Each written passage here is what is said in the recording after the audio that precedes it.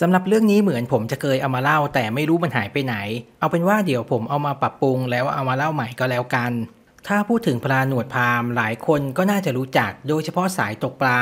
แต่ก็มีหลายคนที่ไม่เคยเห็นมันเช่นกัน เพราะปลาชนิดนี้ค่อนข้างจะหายากแล้ว มันเป็นปลาที่มีรสชาติดี สวยงาม แต่มันก็เป็นปลาที่เลี้ยงได้ยาก เพราะมันไม่ค่อยจะอดทนต่อการเปลี่ยนแปลง หรือก็คือมันเป็นปลาที่พร้อมที่จะตายได้ตลอดเวลา เมื่อเอามันขึ้นจากน้ำหรือแม้แต่ย้ายมันไปลงในถัง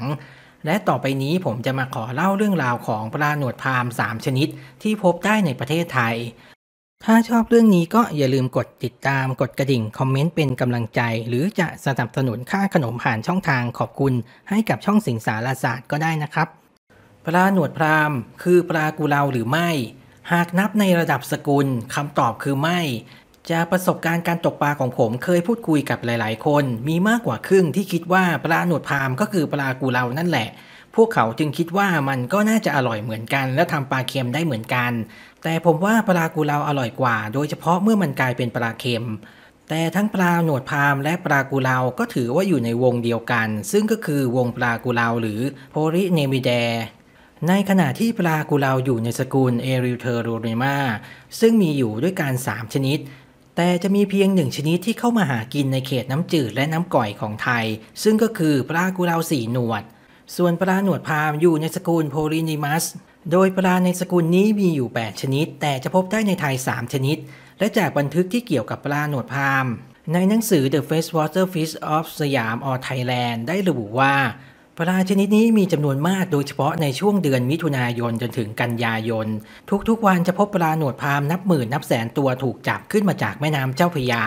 นี่แสดงให้เห็นว่าในอดีตปลาหนวดพามมีเยอะมากจริง ๆ แต่มาถึงตอนนี้มันกลายเป็นหนึ่งในปลาที่หายาก และบางชนิดมีแนวโน้มว่าจะสูญพันธุ์อีกด้วย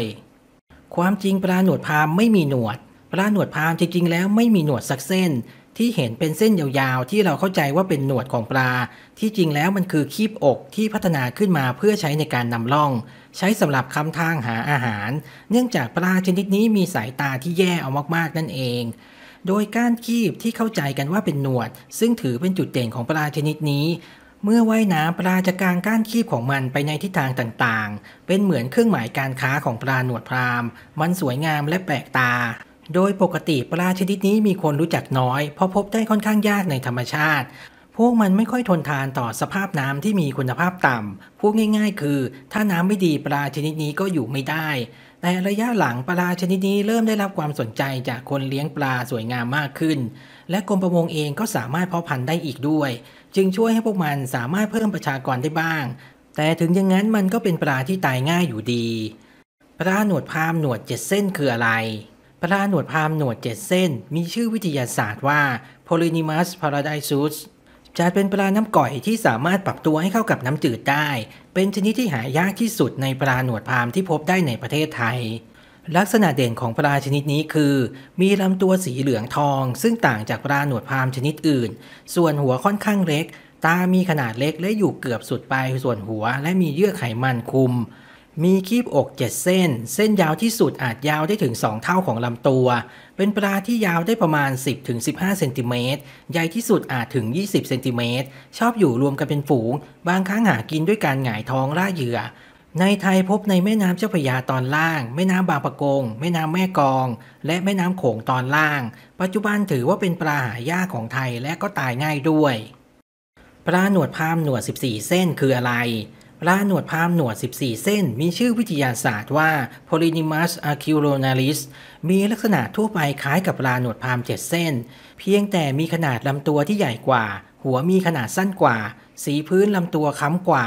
และมีจุดดำบริเวณเหนือคีบอกเป็นปลาที่ยาวได้ประมาณ 20 เซนติเมตร และอาจใหญ่ได้ถึง 30 เซนติเมตร คีบอกเป็นเส้นยาวพบข้างละ 7 เส้นรวมกันเป็น 14 เส้น จึงเป็นที่มาของชื่อ พบในบริเวณที่เป็นน้ำจืดมากกว่าปลาหนวดพรามหนวด7เส้น จึงสามารถเลี้ยงให้รอดได้ง่ายกว่า ทั้งนี้ในปีพศ 2548 สถานีประมงจังหวัดพิษณุโลก สามารถเพาะขยายพันธุ์ปลาชนิดนี้ได้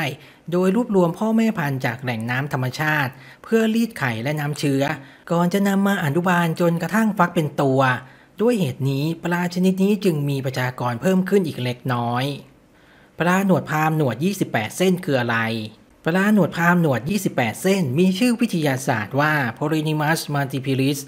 ยาวได้ประมาณ 20 เซนติเมตร ลักษณะเด่นคือ จะมีก้านคีบยาวฝั่งละ 14 เส้น รวมเป็น 28 เส้น แต่อาจจะพบฝั่งละ 13 หรือ 15 เส้น และการนับแต่ละข้างอาจจะไม่สมมาตรกัน ตามข้อมูลระบุว่า เป็นปลาหนวดพามที่ได้รับความนิยมมากที่สุดในวงการปลาสวยงาม โดยเฉพาะในตลาดต่างประเทศ แน่นอนว่าปลาและพ่อแม่พันธุ์ถูกรวบรวมมาจากแหล่งน้ำธรรมชาติ ซึ่งแหล่งจับหลักก็อยู่ในประเทศไทย ปลาหนวดพามหนวด 28 เส้น เป็นปลาที่ชอบหากินอยู่ตามหน้าดิน โดยเฉพาะพื้นที่เป็นทรายหรือดิน พบในแม่น้ำเจ้าพยาและบริเวณปากแม่น้ำสแกรกรัง สรุปได้ว่าทั้ง 7 เส้น 14 เส้นและ 28 เส้น สามารถอาศัยได้ทั้งน้ำกร่อยและน้ำจืด โดย 7 เส้นจะอยู่ในน้ำกร่อยเป็นหลัก ส่วน 14 และ 28 เส้นจะอยู่ในน้ำจืดเป็นหลักเจ็ดเส้นหายากที่สุดแต่ก็ไม่ได้รับความนิยมเป็นปลาสวยงาม อาจจะเพราะว่าเลี้ยงยากเกินไป สุดท้ายหากตกปลาชนิดนี้ได้ในธรรมชาติ และไม่คิดว่าจะเอามันไปทำอะไร ก็ขอให้รีบปล่อยมันกลับไปอย่างรวดเร็ว อย่าไปขังมันไว้ดูเล่น เพื่อต่อไปอนาคตเราจะได้เจอพวกมันมากขึ้น เอาล่ะก็จบแล้วนะครับสำหรับเรื่องความจริงของปลาหนวดพรามไทย 7 เส้น 14 เส้นและ 28 เส้น สุดท้ายก็หวังว่าข้อมูลส่วนนี้จะมีประโยชน์กับทุกคนไม่มากก็น้อย ถ้าดูและชอบก็อย่าลืมกดติดตาม กดกระดิ่งคอมเมนต์เป็นกำลังใจ หรือจะสนับสนุนค่าขนมผ่านช่องทางขอบคุณ ให้กับช่องสิงสาราศาสตร์ก็ได้นะครับสำหรับตอนนี้ก็ขอลาไปก่อนบ๊ายบาย